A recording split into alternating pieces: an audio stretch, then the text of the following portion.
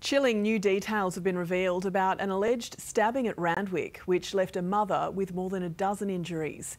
Tonight, the vigilante tradie who tackled the alleged perpetrator and helped police make their arrest speaks out.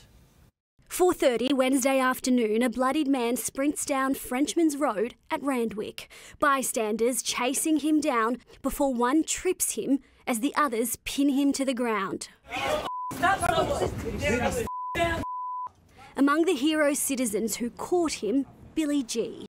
He was just looking into the abyss. Oh, yeah, and he was just panting. It was, yeah, it was full on, but he was covered uh, in blood. What you don't see is what allegedly happened moments before that wild chase. 21 year old Jordan Fay had arrived to his mother Alex's unit on Roberts Avenue. He allegedly walked upstairs and dropped off an Ivan Milat and Australian Psycho book before he allegedly went to the car park in search of a weapon, but all he found was a paint scraper.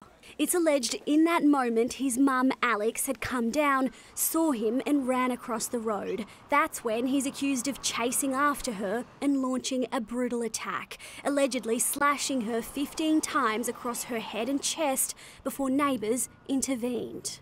It was just a mad scene. I saw the lady inside with all the neighbours trying to help her, holding the blood in.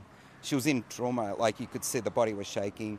Two days before the alleged attack, Jordan had voluntarily discharged himself from a psychiatric institute at Bondi.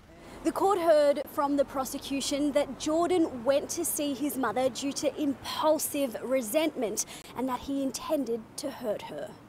His mother today remains in hospital with serious injuries but is stable.